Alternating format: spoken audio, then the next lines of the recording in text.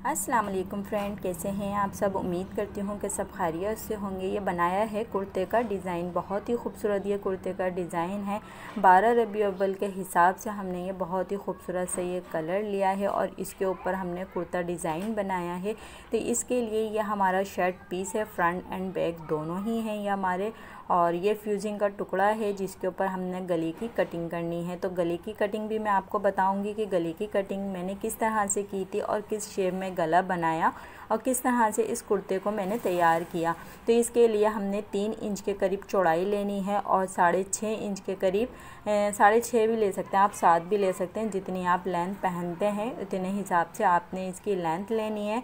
और फिर इसका गोल दायरा बनाना है। इस तरह से मैंने इसका राउंड शेप में गला बनाया क्योंकि गोल गले के ऊपर ये मुझे कुर्ता डिज़ाइन बनाना था और फिर इसके बाद क्योंकि ज़्यादातर ये कुर्ता गला जो होता है ये गोल पे ही खूबसूरत लगता है। वैसे आप इसको कोई और शेप भी दे सकते हैं, लेकिन मैं इसको गोल शेप में बना रही हूँ। फिर मैंने इसकी करी कटिंग गले के फ्यूजिंग के ऊपर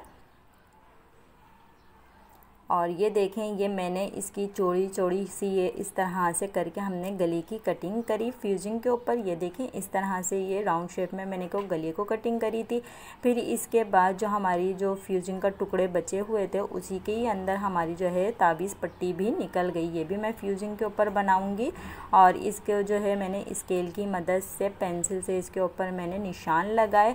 और जितनी मेरी स्केल की चौड़ाई थी, ये एक इंच के करीब चौड़ाई है, इसकी मैंने इसी की चौड़ाई से इसके ऊपर निशान लगाया और फिर साइड से फिनिशिंग से इसकी कटिंग कर ली थी, क्योंकि साइड में इसके थोड़ा सा ख़राब सा आ रहा था टेढ़ा मेढ़ा, उसको मैंने सीधा करा और सीधा करके इसकी कटिंग कर ली थी। तो ये दस इंच के करीब इसकी लंबाई हो गई थी। ये लंबाई काफ़ी थी मेरे लिए। अगर आप थोड़ा और लॉन्ग पहनना पसंद करते हैं तो आप इसको थोड़ा सा लंबा और बना सकते हैं। फिर मैं आ गई प्रेस की जगह पर और मैंने इसको करा प्रेस। पहले मैंने अपनी शर्ट की जो है क्रीज़ बनाई, इसका फ्रंट जो था, फ्रंट और बैक दोनों के ऊपर क्रीज़ बनानी थी आपने। मैंने इसके फ्रंट पे इस तरह से क्रीज़ बनाई और बहुत ही खूबसूरत सा ये हमारा कपड़ा था। इसके ऊपर बहुत प्यारा से फ्लावर्स बने हुए थे पिंक शेड में और ये वैसे ही आसमानी कलर था, बहुत लाइट सा कलर था और फिर मैंने इसको जो है पहले राउंड शेप वाला गला जो था उसको प्रेस करके चिपका लिया था और जो दूसरा प्लेन कपड़ा था उसके ऊपर मैंने इसको जो ये लंबा मैंने ताबीज़ पट्टी की कटिंग की हुई थी फ्यूजिंग पे, उसको मैंने इस तरह से चिपकाया और फिर ग्लू से इसकी साइडें भी चिपका दी थी। सारा काम जो होता है वो हमारा प्रेस पे ही ज़्यादातर काम होता है, फिर इसके बाद सिलाई पे हमें आना पड़ता है। अगर ये सब हम पहले ही करके रख लें तो हमारा काम करना मशीन पर बैठने से पहले ही आसान हो जाता है। तो इस तरीके से अगर आप काम करें तो इस तरह से ही आपका काम बहुत आसान हो जाता है। आप ये ग्लू स्टिक ले लें या फिर जो है यू एच यू या कोई भी चीज़ आप इस तरह से इस्तेमाल कर सकते हैं। मैंने दो चीज़ों का इस्तेमाल किया। मेरे पास ये वाला सिलोशन भी था और ग्लू स्टिक भी था। ग्लू स्टिक से मैंने फ्यूजिंग पे चिपकाया। उससे जो है, लेस ज़्यादा अच्छी चिपकती नहीं है तो मैं लेस के लिए ये इस्तेमाल करती हूँ, ये वाला ग्लू और फिर इसके बाद जो है लेस को मैंने इस तरह से इसको ग्लू को लगाया लेस के ऊपर और फिर जो है इसको इस तरह से रख के मैंने प्रेस करती रही। तो प्रेस करने से ये फौरी तौर पे चिपक जाता है, हमें टाइम नहीं लगता क्योंकि हमें फौरी काम करना होता है तो हम इतना इंतज़ार नहीं कर सकते। तो मैं प्रेस से ही इसको फिनिशिंग दे के चिपका देती हूँ। गर्म गर्म होती है, फौरी चिपक जाती है।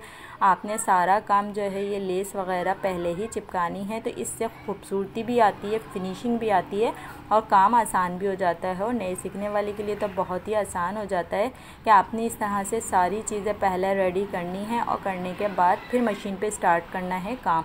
तो इस तरह से ये देखें, आप फिनिशिंग भी बहुत आती है और काम करना भी आसान हो जाता है। फिर इस तरह से ये सारा मैंने इसकी प्रेस करी।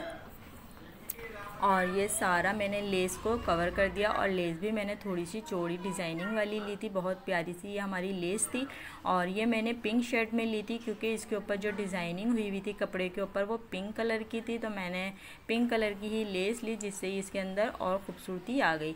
फिर इसके बाद क्या करना था, आपने ये देखें, ये मेरा गला और ये जो है ताबीज़ पट्टी दोनों ही रेडी हो चुकी थी। अब मैंने इसके राउंड शेप वाले गले के ऊपर पहले साइड से सिलाइयाँ लगा दी, क्योंकि ये लगानी लाजमी होती है। आपने इससे जो है आपको काम करने में आसानी हो जाती है। फिर क्या करना था? आपने इसकी जो है गले की जो है राउंड शेप में इसकी हमने सिलाई लगाई, फिर इसके बाद जो है हमने ये फ्रंट पीस उठा लिया इसका।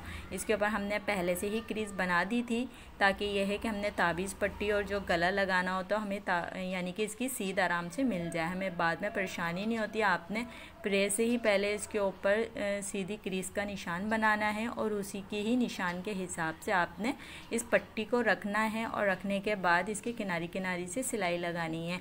लेस पे भी सिलाई लग जाएगी और आपका ये ताबीज़ पट्टी कमीज़ के ऊपर भी लग जाएगी।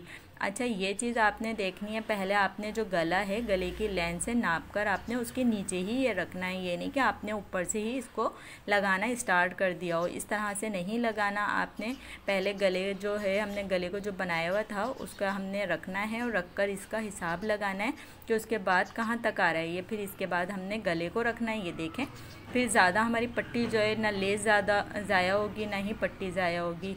इस तरह से रख के फिर मैंने राउंड शेप में ये गले को लग, सिलाई लगा ली थी, बाद में इसके ऊपर हमने तुरपाई करनी थी।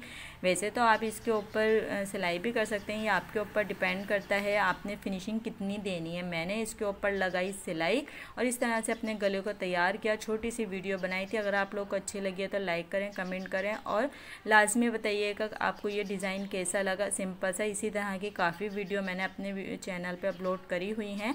लेकिन एक बार फिर रबी अव्वल पर मैं इस तरह की डिज़ाइनिंग लेकर आई थी। बहुत ही प्यारा सा ये डिज़ाइन लग रहा था, जिसकी वीडियो मैंने आपके साथ शेयर करनी थी। अपना बहुत ज़्यादा ख्याल रखिएगा। अल्लाह हाफिज़ और वीडियो को फुल देखिएगा।